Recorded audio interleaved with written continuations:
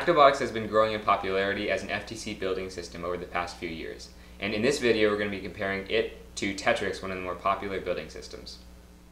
One of the things that we see when building with Actobotics is how the beams actually line up really, really nicely. When using these standard L brackets that they have and lining up your beams in a square pattern, you can see that the whole pattern uh, at the top two beams lines up really perfectly with whatever Actobotics components you're using, and so you can put a beam all the way across.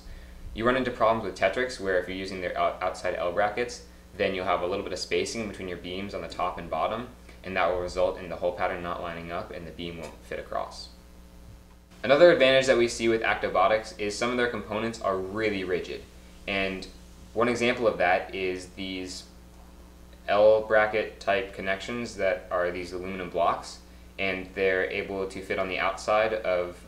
any beams and connect the two with uh, no spacing in between so you can make sure that this whole pattern is nicely lined up if you want to put another plate there or something like that. And they can also fit on the inside of the actual beam itself and what this allows you to do is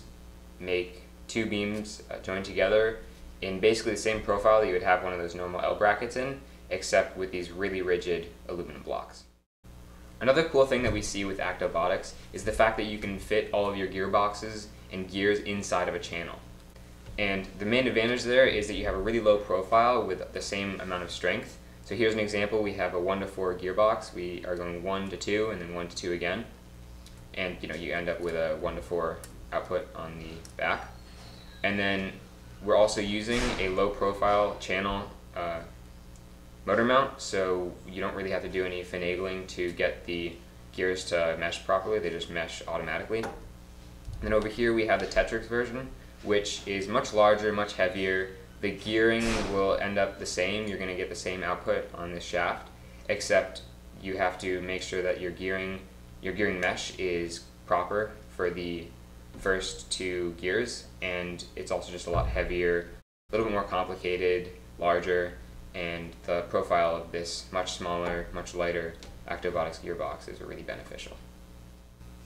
Again, along the lines of gearboxes inside channels, you can do some really cool stuff using the normal motor mounts and fitting a axle all the way through your channel. And what this does is it makes your main chassis beam really, really low to the ground, so you don't really need a skirt for any sorts of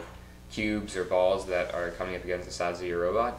and it's also great for attaching stuff and having a really low center of gravity. And because the channels and gears that you're able to get are so small, you're able to fit it inside of the channel and keep a really low profile with your gearbox to motor. Along the lines of compatibility between Tetrix and Actobotics, they don't really work well together at all, but there are a few things that we found that do work well together, one of which is the more uh, complex and nicer of the two types of Tetrix motor mounts fit really nicely into the beam and the holes line up pretty perfectly, except it is only on one side of the beam, so you are pretty limited in that sense. And Tetrix, or Actobotics also sells an adapter that goes from the Actobotics hole pattern to a Tetrix hole pattern, which is really useful because you're able to combine parts and use parts uh, that are Tetrix based but don't really work with Actobotics. One important thing that we highlighted in one of our earlier videos is making sure that your servos are really strong and have another connection point on the outside to make sure that they don't break off if there's any load that's stressed on them. And these are the fancy and really expensive Actobotics mounts that we were referring to and there are certain ways that you're able to make a system sort of like this out of Tetrix, but it takes up a little bit more space and has a whole bunch of different components. And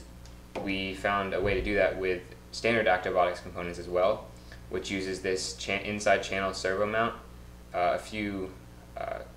couplers and mounts on the inside to connect to an axle, and then also this face mount here to connect our bearing, and then we can also mount this anywhere along the channel,